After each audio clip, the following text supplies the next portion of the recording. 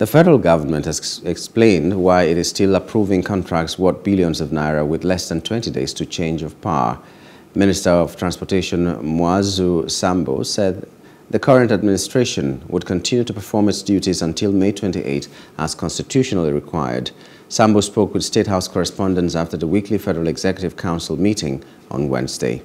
The council approved 449.9 million naira for the engagement of consultants for the development of a master plan for 17 airports.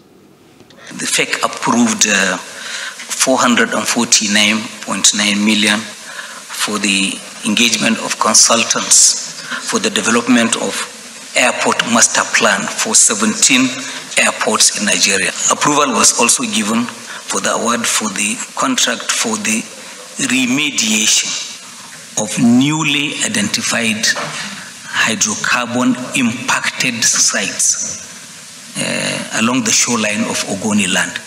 And this is for about 107 billion naira. It's a big one indeed. These things, we, we, we do not control the process, but when it's completed and we're still in office, we're duty bound to bring uh, uh, memos to council uh, for council to, to approve. Government is a continuum.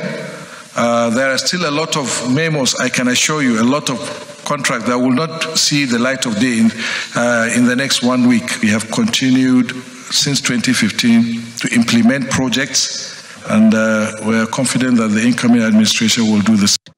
Hello. Hope you enjoyed the news. Please do subscribe to our YouTube channel and don't forget to hit the notification button so you get notified about fresh news updates.